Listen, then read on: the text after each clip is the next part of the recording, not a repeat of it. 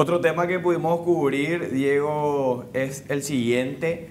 Un incendio bastante llamativo fue registrado en el barrio Tacumbú de Asunción.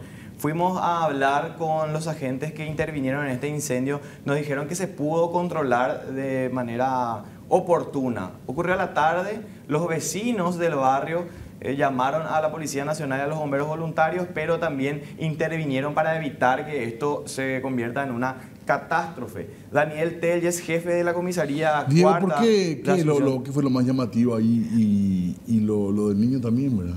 Claro, eso es lo que iba a mencionar. Sí. Al principio lo que decían era que, bueno, fue un incendio nada más, se reportó un incendio, se controló.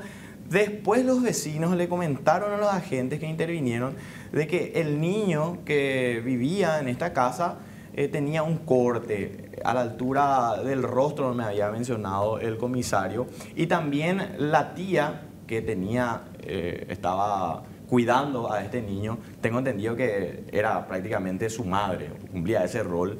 Eh, Habría que confirmarlo después cuando la fiscalía tenga mayores detalles sobre el tema. La señora también tenía lesiones aparentemente de arma blanca, entonces empezaron a indagar un poco más los agentes policiales y tomaron la decisión luego desde el Ministerio Público de ordenar la aprehensión de la tía del niño y también de su pareja sentimental para verificar si es que estas personas no estaban eh, enemistadas, tuvieron alguna discusión y de alguna manera el niño salió lastimado.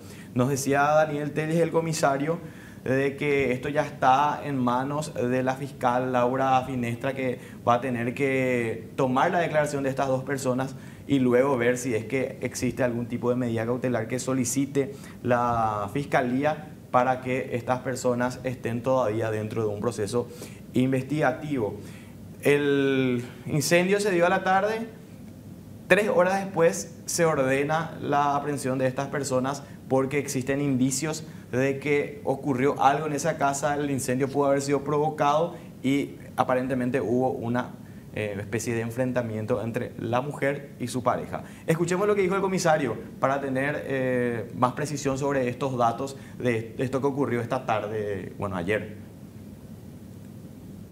Las 13.30 aproximadamente, eh, sobre la calle 23 proyectada casi el verde, Alberdi, del barrio Tacumbú, eh, tuvimos un llamado de un incendio que estaba en una vivienda, eh, por lo cual acudimos inmediatamente al lugar, constatamos que sí hubo un incendio en un- una de las piezas de la vivienda, ¿verdad?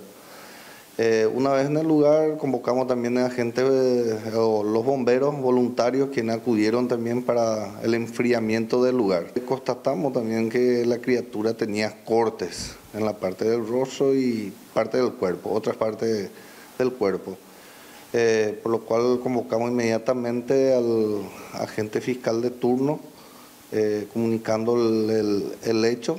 También auxiliamos a una chica que tenía un, corte y que necesitaba de atención médica, que supuestamente el novio de la chica le había ocasionado los cortes a la criatura.